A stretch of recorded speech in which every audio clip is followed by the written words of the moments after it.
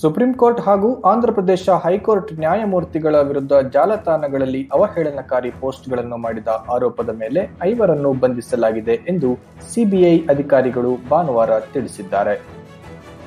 ತಮಗೆ ಸಂಪುಟ ದರ್ಜೆಯ ಸ್ಥಾನಮಾನ ನೀಡಿ ಹೊರಡಿಸಿದ ಆದೇಶವನ್ನು ಹಿಂಪಡೆಯುವಂತೆ ಮುಖ್ಯಮಂತ್ರಿ ಬಸವರಾಜ ಬೊಮ್ಮಾಯಿ ಅವರಿಗೆ ನಿಕಟಪೂರ್ವ ಮುಖ್ಯಮಂತ್ರಿ ಬಿಎಸ್ ಯಡಿಯೂರಪ್ಪ ಅವರು ಭಾನುವಾರ ಪತ್ರ ಬರೆದಿದ್ದಾರೆ. ರಾಜ್ಯದಲ್ಲಿ ಈವರೆಗೆ ಮೂರು ಕೋಟಿ ಇಪ್ಪತ್ತ ಏಳು ಲಕ್ಷದ ಎಪ್ಪತ್ತು ಸಾವಿರದ ಐನೂರ ನಲವತ್ತ ಮೂರು ಡೋಸ್ ಕೋವಿಡ್ ಲಸಿಕೆ ನೀಡಲಾಗಿದೆ ಎಂದು ಆರೋಗ್ಯ ಸಚಿವಾಲಯ ತಿಳಿಸಿದೆ. ಕೇಂದ್ರ ಸರ್ಕಾರದ ಕೋವಿನ್ ವೆಬ್ಸೈಟ್ನಲ್ಲಿ ಭಾನುವಾರ ಬೆಳಿಗ್ಗೆ ಪ್ರಕಟಗೊಂಡ ಅಂಕಿಅಂಶ ಪ್ರಕಾರ ಹೆಚ್ಚು ಲಸಿಕೆ ನೀಡಿದ ಮುಂಚೂಣಿ ರಾಜ್ಯಗಳ ಸಾಲಿನಲ್ಲಿ ಕರ್ನಾಟಕವೂ ಸೇರಿದೆ.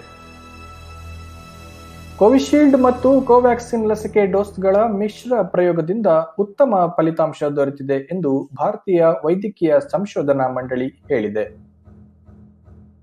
ಯುದ್ಧ ಪೀಡಿತ ಅಫ್ಘಾನಿಸ್ತಾನದಲ್ಲಿರುವ ಪರಿಸ್ಥಿತಿಯನ್ನು ವಿಶ್ವಕ್ಕೆ ತಿಳಿಸುವ ಜೊತೆಗೆ ಅಲ್ಲಿ ಹಿಂಸಾಚಾರ, ದ್ವೇಷದ ಕೃತ್ಯಗಳನ್ನು ಅಂತ್ಯಗೊಳಿಸುವ ಅಗತ್ಯವನ್ನು ಎಲ್ಲ ಸದಸ್ಯ ರಾಷ್ಟ್ರಗಳಿಗೆ ಮನವರಿಕೆ ಮಾಡಲಾಗಿದೆ ಎಂದು ವಿಶ್ವಸಂಸ್ಥೆಯಲ್ಲಿ ಭಾರತದ ಕಾಯಂ ಪ್ರತಿನಿಧಿಯಾಗಿರುವ ಟಿಎಸ್ ತಿರುಮೂರ್ತಿ ಹೇಳಿದ್ದಾರೆ.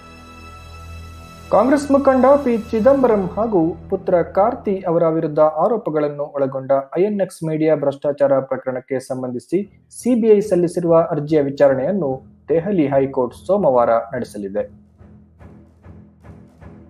ಆಂಧ್ರಪ್ರದೇಶ ಮುಖ್ಯಮಂತ್ರಿ ವೈಎಸ್ ಜಗನ್ಮೋಹನ್ ರೆಡ್ಡಿ ಅವರ ಸಂಬಂಧಿ ಮಾಜಿ ಸಂಸದ ವೈವಿ ಸುಬ್ಬಾರೆಡ್ಡಿ ಅವರನ್ನು ತಿರುಪತಿ ತಿರುಮಲ ದೇಗುಲದ ಆಡಳಿತ ಮಂಡಳಿ ಟಿಟಿಡಿಯ ಅಧ್ಯಕ್ಷರಾಗಿ ಭಾನುವಾರ ಮರು ನೇಮಕ ಮಾಡಲಾಗಿದೆ. ತಾಲಿಬಾನ್ ಅಫ್ಘಾನಿಸ್ತಾನದಲ್ಲಿ ಸರ್ಕಾರದ ಪ್ರಮುಖ ಕಟ್ಟಡಗಳನ್ನು ತನ್ನ ವಶಕ್ಕೆ ಪಡೆದಿದೆ.